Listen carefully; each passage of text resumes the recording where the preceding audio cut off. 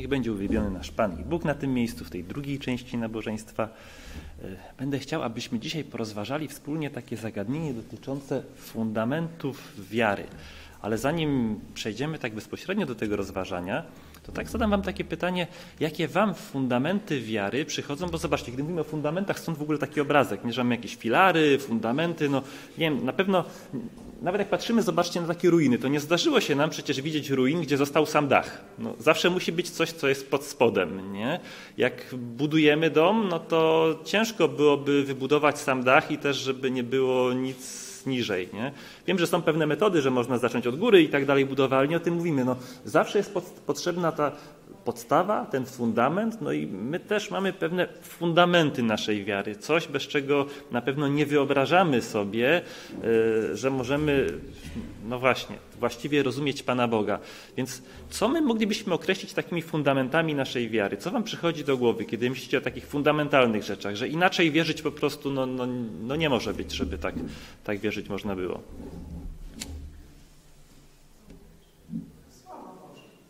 Słowo Boże, czyli oparcie się na Piśmie Świętym, nie? To dokładnie, to bardzo ważny fundament. No, ciężko by było, jakbyśmy na czymś innym opierali swoje słowo, no nie? Więc to na pewno jest taki mocny fundament. Nie możemy z tego zrezygnować. Y, czy coś jeszcze przychodzi Wam do głowy? Tutaj już najcięższe działo zostało wytoczone. Nie? Jak mówimy Słowo Boże, to faktycznie na pewno się nie da tego przebić, ale czy są jeszcze jakieś inne fundamenty, o których moglibyśmy powiedzieć, że e, tak, faktycznie e, o tym warto też jeszcze wspomnieć? Można troszkę głośniej? Łączność z Panem Bogiem, dokładnie, bo to e, jakby to powiedzieć, no bez tego ta religia byłaby taka no, martwa po prostu, nie? tylko taka no, poczytałem, coś jest, ale, ale co by było bez tej łączności z Panem Bogiem? Ja słuchajcie, jeszcze coś takiego znalazłem w internecie, co jest takimi filarami wiary, takimi szczególnymi dla nas, jako dla Kościoła Adwentystów Dnia Siódmego. Czymś, co nas odróżnia w jakiś sposób też od innych kościołów. Y, i one są po angielsku, ale ja od razu szybko przetłumaczę. Zobaczcie, y, zaczynając tutaj od tej strony, mamy poselstwo zdrowia. No, poselstwo zdrowia na pewno jest czymś takim, co wyróżnia nas na tle innych kościołów. Jest to coś, co robi z nas jakiś taki wyjątkowy kościół, który też przykłada znaczenie do zdrowia y, i to nie, nie tylko przecież o to chodzi, co jemy, ale też tam, zobaczcie, jest kwestia w ogóle odpoczynku, kwestia w ogóle takiego właściwego funkcjonowania na co dzień, że dzięki temu to się okazuje, że ten Duch Święty w jakiś sposób może lepiej nami pokierować niż człowiekiem, który byłby może pod wpływem nałogów, przemęczony, taki wykończony, taki zduszony życiem. To na pewno jest inaczej niż taki człowiek, który stosuje się do tych zasad, zobaczcie, które, które mamy. Nie zawsze oczywiście się da, bo tak patrzę tutaj, jak właśnie małe dzieciątko jest z tyłu i wiem, jak jest też u mnie, to, to wtedy na przykład ciężko jest zadbać o, o wysypianie się, kiedy ma się małe dziecko, nie? ale są momenty, kiedy są pewne rzeczy od nas zależne, no i wtedy powinniśmy jak najbardziej w tym kierunku iść. Y, kwestia stanu po śmierci, nie? kwestia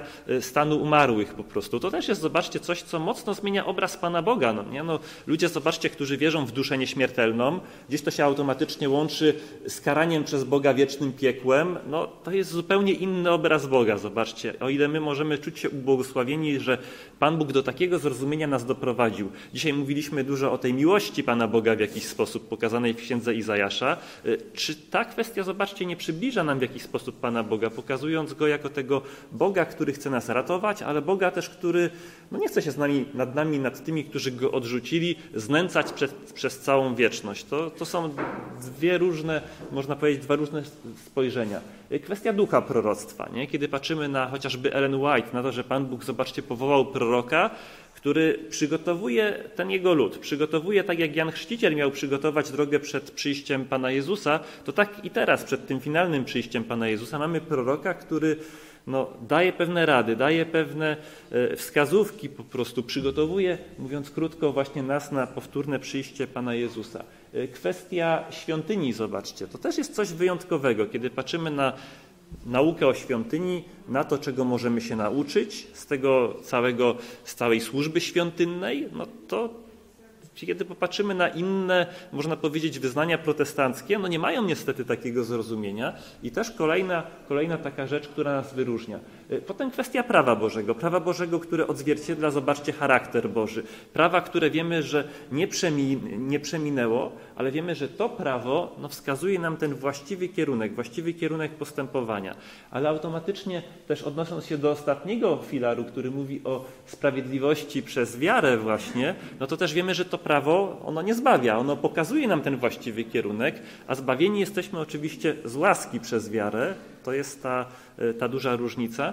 No i kwestia zwycięstwa nad grzechem, no bo jeżeli ja przyjmuję Pana Jezusa do serca, jeżeli ja pragnę e, no, podążać za Nim, no to też nie będzie tak, że grzech będzie mi obojętny, że ja powiem, a tak jak sobie żyłem w tych grzechach, to tak sobie mogę zostać, no przecież Pan Jezus mnie e, zbawił, bo to jest umniejszanie tej łaski, którą obdarza nas Pan Jezus. To jest czynienie takiej taniej łaski. Jeżeli ja chcę zbawienia, ale nie chcę tak naprawdę nawrócenia mojego serca. Stąd gdzieś ta kwestia zwycięstwa nad grzechem. Ale do tego jeszcze będziemy wracać, a, a, chciałbym, abyśmy spojrzeli na pewne fundamenty, które funkcjonowały już wcześniej, które funkcjonowały zanim powstał nasz Kościół, a które bym powiedział są takim, taką absolutną podstawą, bez której po prostu no, ruszyć y, nie możemy.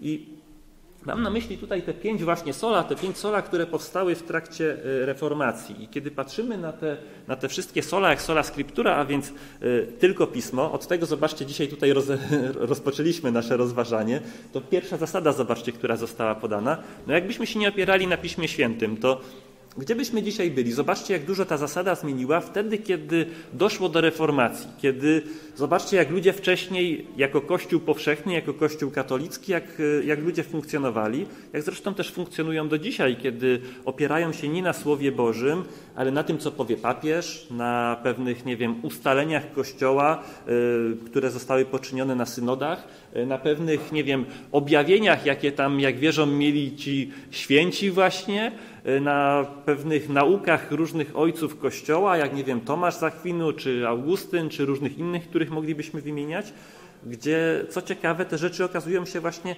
sprzeczne z Pismem Świętym. Jak teraz te wszystkie rzeczy pogodzić? I my wiemy, że oczywiście no, Pismo Święte powinno być tym, y, co wytycza naszą drogę i to, zobaczcie, zadziało się podczas reformacji.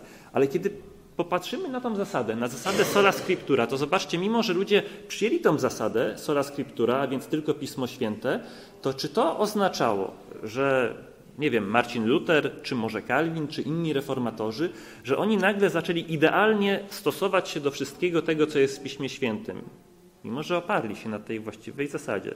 Widzę, że tutaj osoby kiwają głowami, że, że nie, no bo wiemy, że chociażby święcili dalej niedzielę. Dalej y, chrzcili niemowlaki jeszcze, zobaczcie. Nie? I tak moglibyśmy im wymieniać różne rzeczy, gdzie moglibyśmy im, a już nie mówiąc o takich rzeczach, jak tutaj wymieniłem te nasze filary wcześniejsze jako Kościoła Adwentystów Dnia Siódmego, kwestia, nie wiem, chociażby zrozumienia nauki wypływającej ze świątyni, czy wielu innych rzeczy, które mamy, no to do tego wszystkiego jeszcze było bardzo daleko po prostu, zanim, zanim to zostało zrozumiane. Ale wiecie, co Pan Bóg widzę tam zrobił? Zrobił taką ważną rzecz, że z takiego bagna, w jakim znalaz, znalazło się chrześcijaństwo w tamtym czasie, no pomijając oczywiście, wiecie, Waldensów, Albigensów, różnych innych ludzi, którzy chcieli się trzymać Słowa Bożego, czy tak jak jeszcze w międzyczasie gdzieś pojawiały się takie krótkie przebudzenia, jak kusyci, ale nie o tym mówię, tylko mówię o takich mrokach, wiecie, średniowiecza, które spowiły po prostu y, Europę i nie tylko i po prostu w jakiś sposób zaciemniony był ten obraz Pana Boga, to teraz pojawiła się ta idea, aby powrócić do Słowa Bożego, aby oprzeć się właśnie na nim. I Pan Bóg zrobił coś takiego, że można powiedzieć z tego niewłaściwego toru wrzucił teraz ludzi na ten właściwy tor, że jeżeli teraz chcecie mnie szukać, to szukajcie właśnie poprzez to Słowo Boże. I automatycznie zobaczcie, z tej zasady, z tej oparcia się właśnie na tym sola scriptura, y, mamy te wszystkie kolejne pozostałe. No bo y, czy sola gratia, czy sola fide, a więc tylko łaska i tylko wiara, no to jest coś, co ludzie zrozumieli właśnie opierając się na studium Pisma Świętego. Pamiętacie, jak czytamy y, Wielki Bój i tam możemy poczytać o tych zmaganiach Marcina Lutra, jak on się zmagał właśnie w kwestii kwestii zbawienia po prostu. Nie? On nawet o sobie mówił, że jeżeli ktoś miałby być zbawiony, zbawiony właśnie z tych uczynków, no to ja jako ten mnich to faktycznie na to bym zasługiwał, nie? No bo on robił wszystko, co się dało i te, i te posty, i nawet biczował się i, i robił co tylko mógł, żeby zmienić to swoje życie, ale w tym wszystkim taki się czuł umartwiony. Widział, że to nie pomaga, że on dalej jest tym grzesznym człowiekiem. Y, tam potem mamy tą rozmowę ze Ształpicem, z tym swoim przełożonym też, jaką odbywa, ale finalnie to wszystko prowadzi go do tego zrozumienia, do tego zrozumienia, które dzięki Bogu mamy dzisiaj właśnie, że zbawieni jesteśmy z łaski, a więc nic nie możemy dołożyć, ale na tym się nie kończy, że z łaski, bo jest powiedziane z łaski przez wiarę, a więc otrzymuję zbawienie, a skoro je przyjąłem, to teraz mogę zobaczyć, czy ta moja wiara faktycznie e, jest wiarą żywą, czy ona pojawia się w moim życiu, bo jak czytamy w Piśmie Świętym, wiara bez uczynków martwa jest i można zobaczyć po pewnych owocach, czy faktycznie ja to zbawienie przyjąłem, nie? czy ja chcę postępować chociażby w zgodzie z tym, co jest w Piśmie Świętym, bo jeżeli to nie jest pragnienie mojego serca, jeżeli to jest dla mnie nieważne, no to już mamy taki pierwszy znak zapalny, że no raczej y, nie jestem tą osobą, która to zbawienie y, przyjęła. No i finalnie mamy sola Christus. Zobaczcie, jak to wyglądało w czasie, kiedy tak popatrzymy, jak to wyglądało w czasach y, przed reformacją, jak ludzie szukali zbawienia. No to mamy wszystkich tych świętych, mamy wszelkie odpusty, nawet jeszcze w trakcie, kiedy dochodziło do reformacji, kiedy patrzymy na te odpusty sprzedawane w związku z tą bazyliką, która była właśnie w Rzymie, nie? no to y, taka smutna droga, można powiedzieć, do zbawienia, do odpuszczania grzechów, kiedy, nie wiem, mogę sobie wykupić odpust i to odpust już na przyszłe grzechy, które zostaną uczynione. Y, kwestia, nie wiem, relikwii, które, zobaczcie, funkcjonowały w tamtym czasie. No i jak patrzymy, no to przecież te relikwie, one są do dzisiaj. Jeszcze jakiś czas temu, pamiętam, ktoś podesłał mi taki filmik, kiedy dzielili kości świętego Wojciecha w kościele katolickim. Teraz tak na bieżąco gdzieś to krążyło po internecie, że y, w takim ładnym akwarium to mieli zrobione, no bo to z nabożną czcią oczywiście traktują tą relikwię i brali tam kawałek kostki, przepiłowali, rozdłubywali po prostu, żeby włożyć w takie małe pudełeczka i rozesłać właśnie po, po różnych kościołach y, w Polsce. Nie?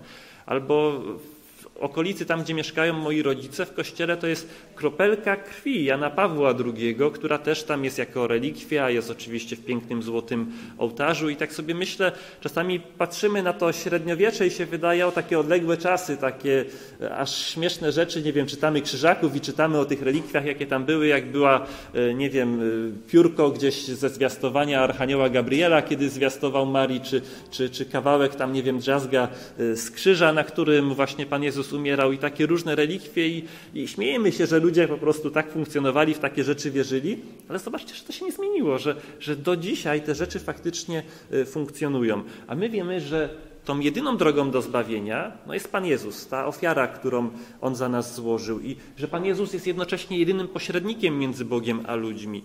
I to wszystko prowadzi do tego, że zobaczcie, że w kwestii zbawienia to finalnie tylko i wyłącznie Panu Bogu należy się chwała, no bo tak sobie myślę, że w chwili, kiedy my znajdziemy się tam już jako, jako zbawieni, no to przecież my nie będziemy tymi, którzy będą mówili, o Panie Boże, a pamiętasz jak zrobiłem to, tamto i będziemy wymieniać i Pan Bóg powie, no Tomek, jak to cudownie, że Ty takie rzeczy zrobiłeś, bo przecież my dzisiaj wiemy, że kiedy czytamy Słowo Boże, to jest napisane, że nawet to chcenie i wykonanie to kto sprawia?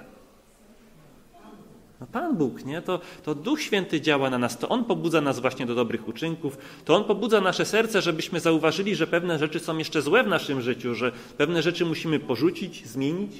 Więc we wszystkim tak naprawdę to ta chwała należy się Bogu. Ale zacząłem dlatego od tych filarów takich, zobaczcie, od takiego fundamentu, od fundamentu, które, e, no uważam, no nie da się tego zmienić. No bo czy wyobrażacie sobie porzucić którąś z tych takich podstawowych zasad wiary, czy moglibyśmy dojść do innego wniosku, że inaczej jesteśmy zbawiani, albo że moglibyśmy coś dołożyć do Pisma Świętego, że, że coś jeszcze ponadto, że, że potrzebujemy y, coś więcej właśnie, albo że, że, no nie wiem, że jest jakaś inna droga do zbawienia. No, nie wyobrażam sobie, żebyśmy my jako adwentyści mogli w ten sposób postąpić. Ale, a jednak zobaczcie, był taki czas wśród nas, adwentystów, kiedy jako adwentyści poznaliśmy te prawdy wiary, które mamy obecnie. I to jest taki obrazek z roku 1876, więc jest to taki moment, kiedy większość zasad wiary, które obecnie mamy, już są znane. I to był taki obrazek, byśmy powiedzieli, ewangelizacyjny. Obrazek, który miał pomóc opowiedzieć y, taką historię biblijną, która pokazywała też znaczenie pewnych zasad wiary. Y, no i zobaczcie, mamy tutaj chociażby Pana Jezusa zasiadającego właśnie y, przy wieczerzy, no i też to jest takie odniesienie do tego, do tej pamiątki wieczerzy, jaką my obecnie obchodzimy, że, że, to, że to ma swój cel.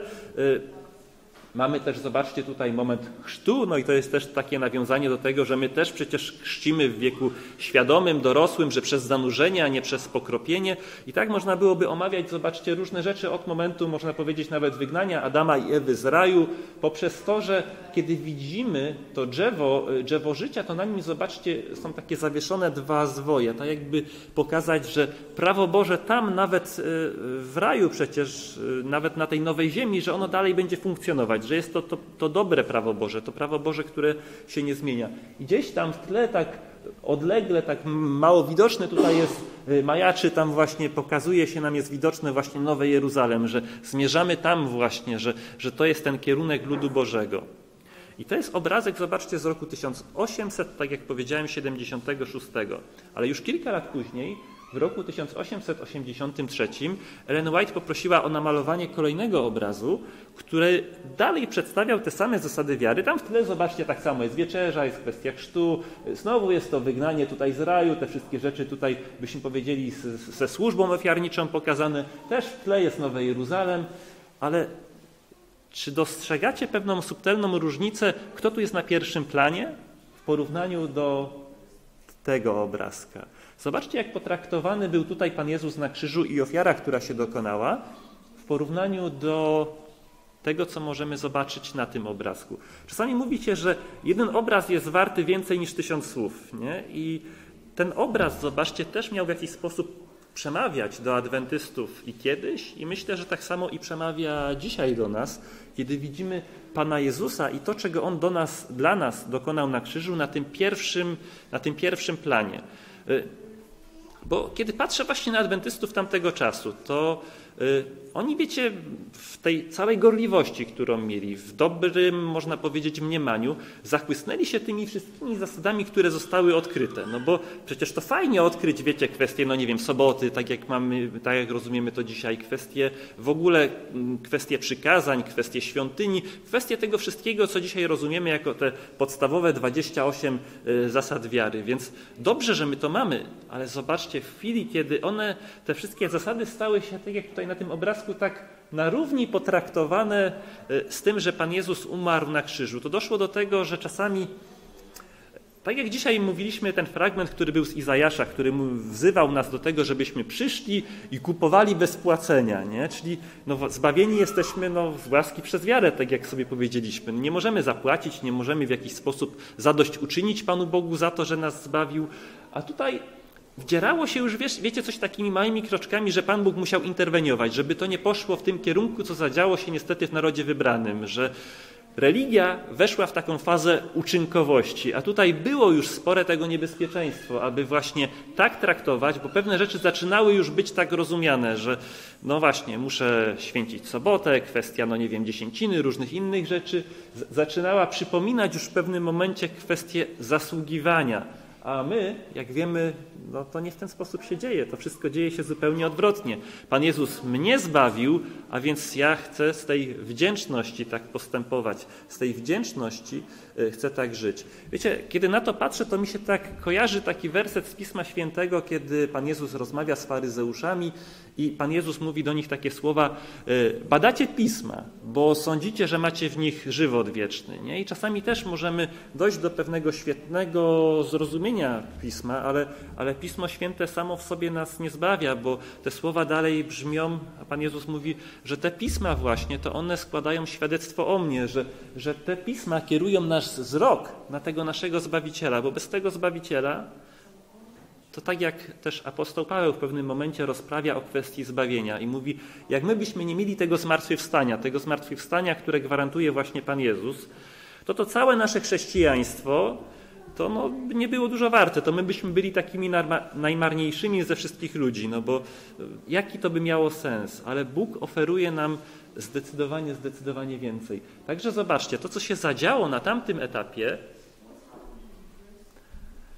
to kiedy byśmy tak przeanalizowali po kolei te wszystkie pięć, można powiedzieć, tych takich fundamentów, fundamentów, które powstały podczas reformacji, to one w jakiś sposób, bym powiedział, uległy zburzeniu, a może próbowano w tym kierunku iść i stąd Pan Bóg musiał interweniować, bo uważam, że kiedy patrzę właśnie na te fundamenty, że to jest coś takiego, co Pan Bóg mówi, no bez tego jako lud Boży się nie obędziecie. To jest coś, co po prostu musi być. To jest coś, czym lud Boży musi żyć, czym musi funkcjonować i tego nam nie może zabraknąć.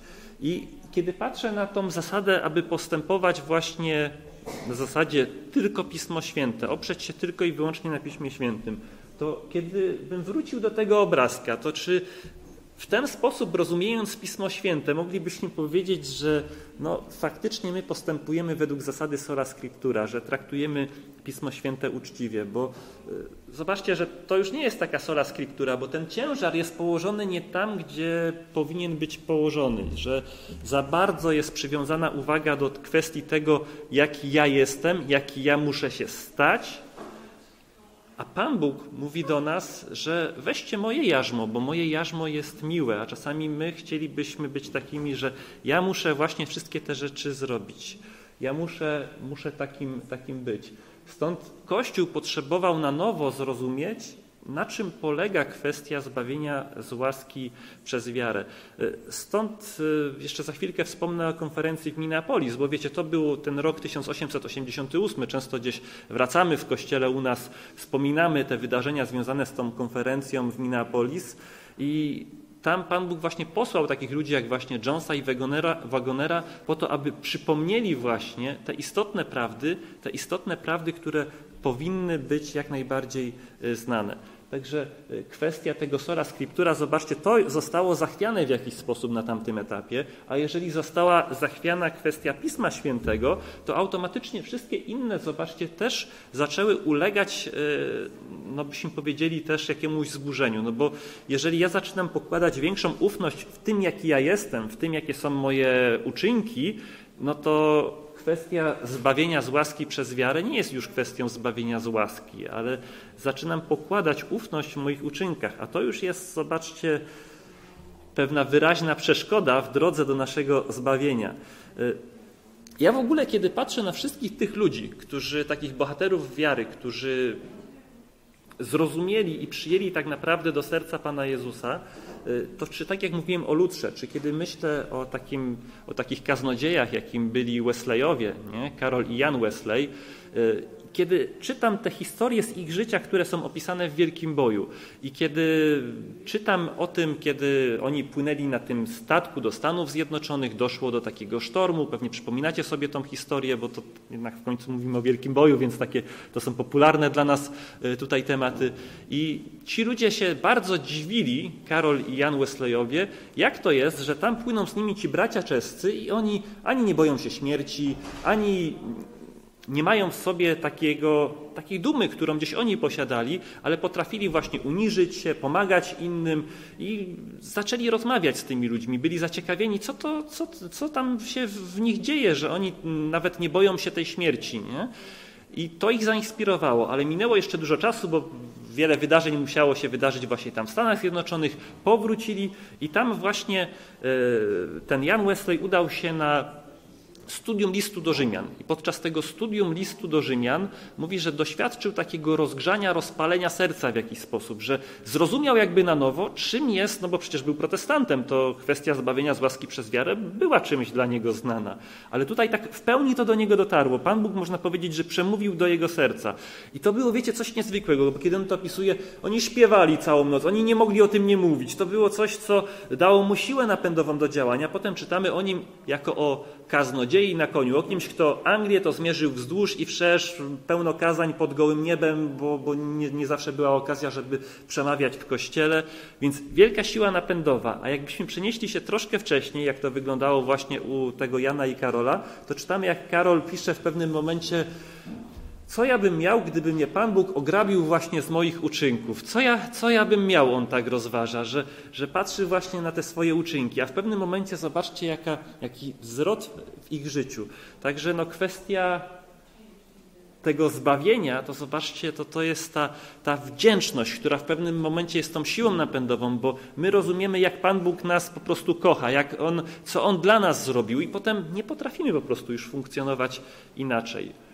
I to wszystko, zobaczcie, kiedy też prowadzi nas do tego, że zbawieni jesteśmy tylko dzięki ofierze Pana, Pana Jezusa.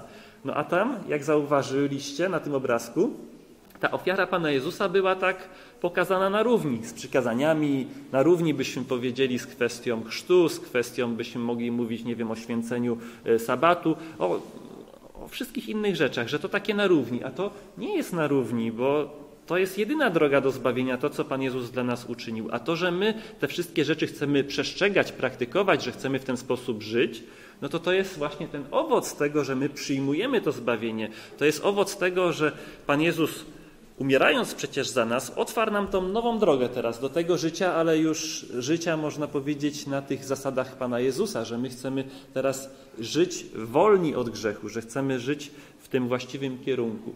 I to wszystko powoduje, zobaczcie, że widzimy, że ta chwała należy się właśnie tylko i wyłącznie Bogu. A w chwili, kiedy byśmy weszli na tą drogę, kiedy staramy się o własnych siłach pewne rzeczy robić i, i, i, kiedy w jakiś sposób delikatnie przypisujemy sobie właśnie te zasługi, że no jaki ja jestem, bo nie wiem, bo zachowuję sabat, bo daję dziesięcinę, bo pomagam ubogim, bo może coś, bo nie wiem, bo głoszę Ewangelię, cokolwiek byśmy tam nie, nie wymienili, zobaczcie, jako zasługi dla nas, to w tym momencie Pan Bóg jest w jakiś sposób odarty z tej chwały, a, a, Pismo Święte pokazuje, że tylko Jemu należy się chwała. I to oczywiście na kilka sposobów można rozumieć, bo tutaj, e, tak jak umieściłem ten fragment e, z objawienia Jana, z Apokalipsy, gdzie, gdzie jest pokazana kwestia oddawania czci, oddawania pokłonu, kiedy czytamy, że i rzeczę do mnie, nie czyń tego, jestem współsługą Twoim i braci Twoich proroków i tych, którzy strzegą słów księgi tej,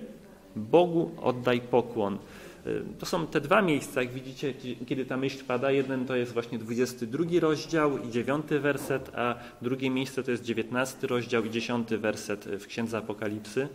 I, I pada ta myśl właśnie, że tylko Bogu należy się to, abyśmy Jemu oddawali właśnie cześć, ale ta cześć ma też ten szerszy wymiar, że On jest przecież tym, który nas ratuje, On jest tym, który jest naszym y, Zbawicielem. Stąd zobaczcie jeszcze raz takie porównanie takie na szybko, kiedy patrzymy te dwa, na te dwa obrazki. Jaka to jest różnica, kiedy Chrystus jest tylko jednym z tych elementów tego wszystkiego, co jest w planie zbawienia, a jest tym, który jest wysunięty właśnie na, na ten pierwszy plan.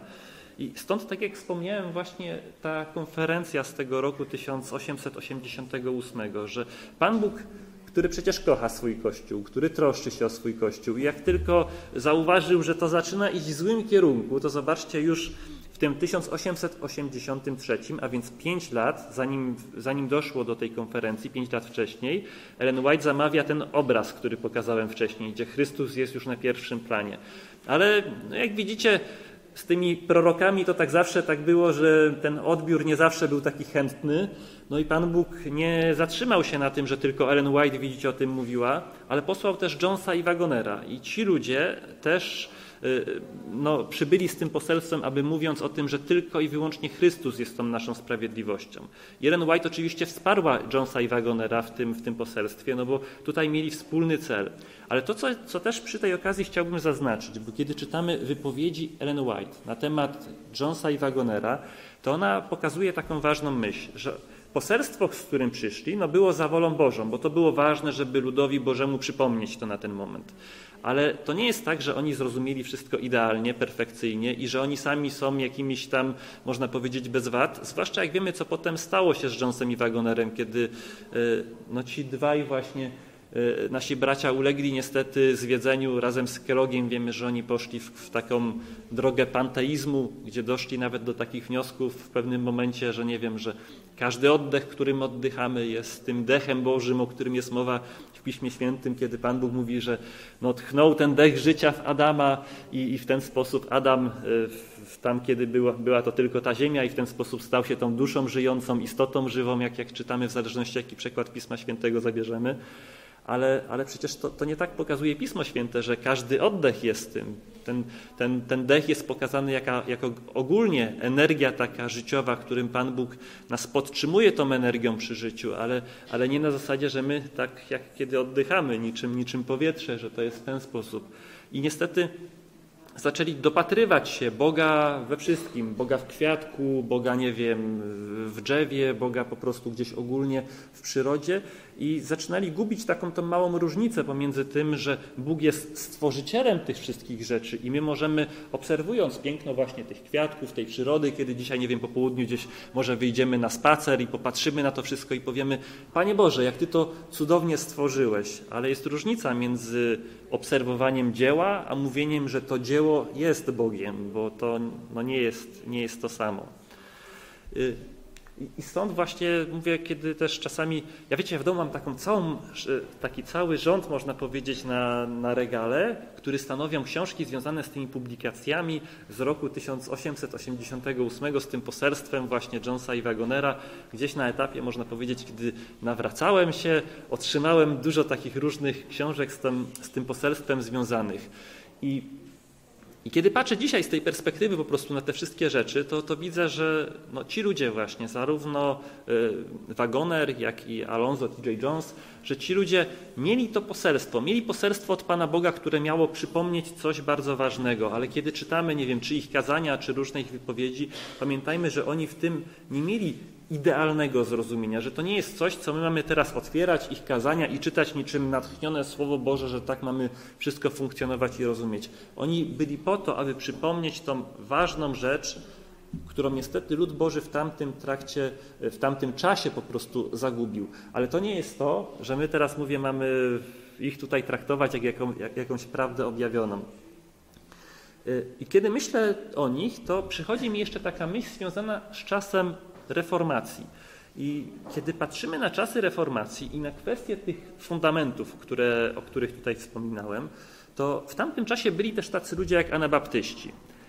No i niestety ci anabaptyści, którzy też w tamtym czasie byli postrzegani no, jako właśnie protestanci, tak ich przyjmowano i do dzisiaj wielu ludzi w opracowaniach też traktuje ich jako protestantów, tych anabaptystów, ale ich wiara nijak się ma niestety do tych fundamentów, do tych fundamentów, które były taką wspólną osią dla protestantów, a w ich przypadku to troszkę gorzej, no bo kiedy popatrzymy na takiego głównego przywódcę tych anabaptystów, jakim był Tomasz Mutsen, ten od wojny chłopskiej, jeżeli, jeżeli kojarzycie, no w ogóle bardzo krwawa wojna z czasów Lutra, no to ten Tomasz Mutsen no, powtarzał tak, że y, litera zabija, Litera zabija w sensie, wiecie, Pismo Święte, ale Duch ożywia, nie? Takie, wiecie, takie charyzmatyczne dzisiejsze podejście. Niech nas prowadzi Duch Święty, niech On nami pokieruje. Y, Pismo Święte, no, no niech sobie jest, fajnie, ale, ale czy musimy się tam wczytywać, co tam dokładnie jest? Przecież Duch mnie prowadzi. Jak, jeżeli czuję, że Duch mnie dobrze prowadzi, to, to wszystko przecież będzie dobrze. I to wszystko prowadziło do tego, kiedy patrzymy na ten y, ruch właśnie anabaptystów, że z jednej strony mieli bardzo dobre rzeczy. I co takiego tam u nich można było znaleźć? No chociażby kwestie święcenia soboty. No zobaczcie, wyprzedzili swoje czasy. Czyli można mieć, zobaczcie, coś bardzo dobrego, jak kwestia święcenia soboty, ale to, to, nie tylko kwestia święcenia soboty. Oni też chrzcili ludzi w wieku świadomym, w wieku dorosłym. Czyli też byśmy powiedzieli, kolejna rzecz, no super.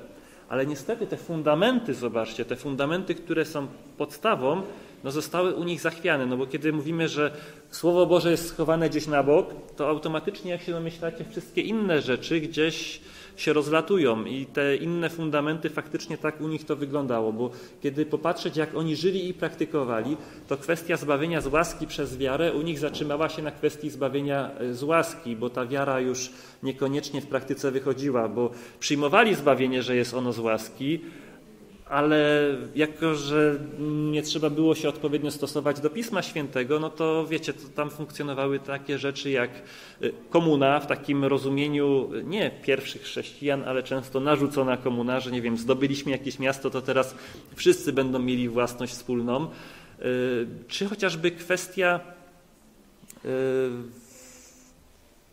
takich rzeczy jak wielożeństwo tam też funkcjonowało. Nie? Czyli taki powrót, można powiedzieć, do tego głębokiego patriarchatu e, z czasów jeszcze epoki królów w Starym Testamencie. E, no a wiemy, że Pan Jezus, my już powinniśmy mieć dzisiaj lepsze zrozumienie, bo Pan Jezus wyraźnie podkreślał, że to nie tak ma wszystko wyglądać, że tym ideałem jest Adam i Ewa, tak jak to było w raju, więc no, współcześnie chrześcijanie no, nie powinni do, do tego typu właśnie rzeczy wracać. I kiedy mówię właśnie o tych anabaptystach, że zobaczcie, że byli ludzie, którzy w trakcie reformacji z jednej strony posiadali dobre rzeczy, wzywali do czegoś dobrego, czyli do święcenia soboty, do, do chrztu w wieku świadomym, a te właściwe fundamenty były przez nich zburzone i to robiło trochę takiego zamieszania, mam wrażenie, wśród ludzi tamtego czasu. Wyobraźcie sobie, że jesteście jakimś katolikiem, który sobie żyje właśnie tam w XVI wieku podczas reformacji i słyszycie że są protestanci, ale ci protestanci to między innymi no tak sobie żyją, że mają po wiele żon, a wy jesteście takim katolikiem, który gdzieś może teraz zaczął się interesować Pismem Świętym, no i mówicie, no jacyś dziwni ci protestanci, no mają sobie po wiele żon, y, żyją sobie jak chcą, no bo właśnie to zbawienie przyjmują na zasadzie takiej taniej łaski. Y, do tego wszystkiego jeszcze mówią, że Pismo Święte to nie jest tak ważne, niech nas prowadzi duch no to myślę, że pojawiałoby się u was jakieś takie oburzenie w sercu, że no jak, jak tak można żyć, nie?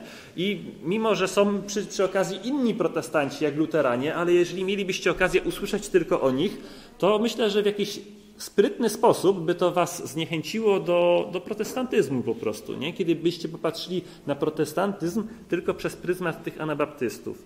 I zobaczcie, że nie inaczej było w chwili, kiedy powstawał nasz Kościół, jako Kościół Adwentystów Dnia Siódmego, Y, bo w tym czasie wiemy, że powstają też takie ugrupowania jak Świadkowie Jehowy, jak Mormonie, jak generalnie rozumiany spirytyzm taki współczesny, nie? że te wszystkie ruchy jak New Age czy coś takiego, że to ma, zobaczcie, początki w tamtym czasie konkretnie. I to powoduje, że są ludzie, którzy na przykład patrzą, o jest kościół adwentystów, a w tym kościele też jest Ellen White i ona ma jakieś proroctwa, nie? I ludzie zaczynają patrzeć w tamtym czasie, to kolejny jakiś spirytyzm pewnie, to znowu kolejne coś takiego do jednego kosza wrzucić. Ja sam pamiętam po sobie, że to przecież nie tak dawno, bo kiedy ja przeżywałem swoje nawrócenie i kiedy miałem pierwszą styczność z kościołem adwentystów tutaj, no to kiedy patrzyłem na Ellen White, tak się zastanawiałem, ale ale czemu mówię tak, tak fajnie, kiedy słucha się kazania, mówię, tak fajnie widzę, ludzie trzymają się Słowa Bożego. Ale mówię, ale czemu tutaj ta Helen White? Mówię, czy, czy to nie jest tak jak u świadków, że mają coś w rodzaju takiej kolejnej strażnicy, nie? Na szczęście Pan Bóg poprowadził mnie odpowiednio i zacząłem czytać właśnie też pisma Helen White i wtedy nie miałem wątpliwości, że to prorok Boży ale, ale zobaczcie, że właśnie przez taki pryzmat takich działań, kiedy możemy popatrzeć czy na świadków, czy na różnego rodzaju spirytyzm, że to jest coś, co skutecznie może zniechęcić, zobaczcie, do tego właściwego kościoła. I tak właśnie myślę, że działo się też przez takie ruchy, kiedy szatan umie po prostu czasami zamieszać. Powoła ludzi, którzy są bardzo podobni, ale mają pewne rzeczy, zobaczcie, takie zniechęcające, a przede wszystkim niestety te fundamenty właściwe wiary, tam u anabaptystów one były zburzone. A chciałbym, żebyśmy jeszcze zerknęli, patrząc na te same fundamenty, więc znowu te sola scriptura, sola gratia i tak dalej, na te rzeczy, kiedy patrzymy, jakbyśmy spojrzeli na Stary Testament. Czy w Starym Testamencie te zasady, zobaczcie, te fundamenty funkcjonowały. Jak tak się zastanowimy, zobaczcie, jak tak popatrzymy szczerze.